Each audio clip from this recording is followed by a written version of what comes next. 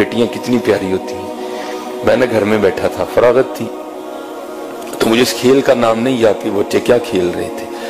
वो पर्चियाँ डाली थी, एक पर्ची पे लिखा था बादशाह, एक पे लिखा था वज़ीर, एक पे लिखा था काजी और एक पे लिखा था चोर। उन चार पर्चियों को बंद करके ना फेंक देते, फिर सारे एक एक उठाते थे।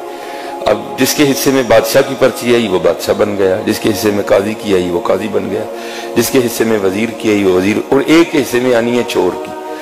तो फिर जिसके हिस्से में चोर की पर्चियाँ आनी है, उसके लिए फिर बड़े सख्त मामला हैं। बादशाह सलामत उसको जो चाहे हुक्म दे।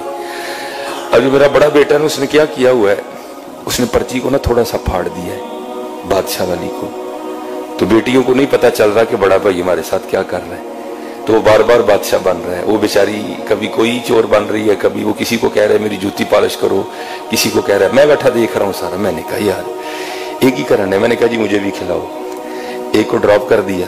तो फिर वही वाला काम मैंने किया। मैंने पर्ची तो नहीं फाड़ी, लेकिन मैंने बादशाह वाली पर्ची पे ना पेन से निशान लगा दिया। अब दो चार बार बादशाह बन के मैंने उसे खूब काम करवाया। तो मैंने कहा, चल यार बच्चियाँ भी बादशाह बनाइए। तो मैंने अपनी बड़ी बेटी को कहा कि ये जिस पे निशान लगा ना, तूने ये पर्ची उठानी है।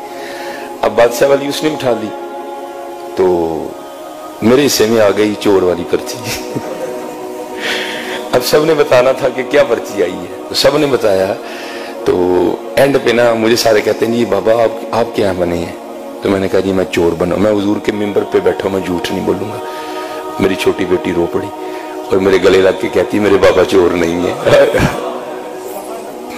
मेरे गले लग के रो पड़ी। खुदा मिंबर पे बैठा हूँ हजूर के, मैं झूठ नहीं बोल रहा हालाँकि ऐसी बातें नहीं सुनाता, ये आपकी दिलजोई के लिए सुना रहा हूँ कि बेटियों के लिए कभी ऐसा फिक्रा नहीं बोलना। ये रहमत होती है। मैं मिंबर पे बैठा कह रहा हूँ, मेरा अल्लाह गवाह इस बात का। हाँ मैं ऐसी बातें नहीं सुनाता, वो मेरे साथ लग के ना रो पड़ी हकीकत रो पड़ी। और कहती मेरे बाबा चोर नहीं। ये ये रहमत है। बेटियों से मोहब्बत करवा दे। हाँ।